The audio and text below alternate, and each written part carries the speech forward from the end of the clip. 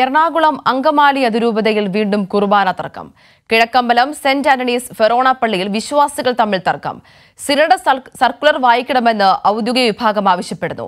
Circular വായിക്കരുത് എന്ന് അൽമായ മുന്നേറ്റവും ആവശ്യപ്പെടുന്നുണ്ട്. വിവരങ്ങളുമായി ചേതൻ സാജൻ ചേരുകയാണ്. ചേതൻ ഇത്തരത്തിൽ രണ്ട് തരത്തിലുള്ള അഭിപ്രായങ്ങൾ അത് വാക്ക് തർക്കത്തിലേക്ക് വീണ്ടും നീളുകയാണോ? അതെ അതെ അങ്ങനെ തന്നെ വേണം ഇപ്പോൾ നോക്കിക്കാണാൻ എറണാകുളം അങ്കമാലി രൂപതയിലാണ് ഇപ്പോൾ വീണ്ടും കുർബാന തർക്കം ഉണ്ടായിരിക്കുന്നത്.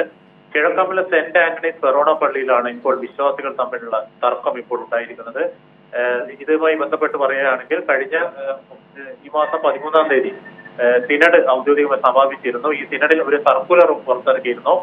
ഈ സിനഡ് സർക്കുലർ എല്ലാ വരുന്ന ഞായറാഴ്ചകളിലും വായിക്കണമെന്നാണ് ഈ സിനഡ് നിർദ്ദേശം.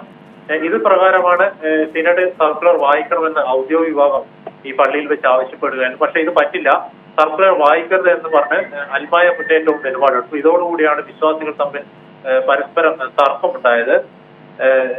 ഈ- വിഷയത്തിൽ സിറോ മലബാർ മേജർ ആർച്ച് ബിഷപ്പായി പുതുതായി ചുമതലയേറ്റ മാർ റാഫേൽ തട്ടിലും ഈ കർശനമായും പുതിയ ജന ക്ഷിപ്രം ഏകീകൃത കുർബാന നടപ്പാക്കണം മാർപ്പാപ്പയുടെ നിർദ്ദേശം നടപ്പാക്കണം എന്ന കർശനമായ നിലപാടെടുത്തിരുന്നു.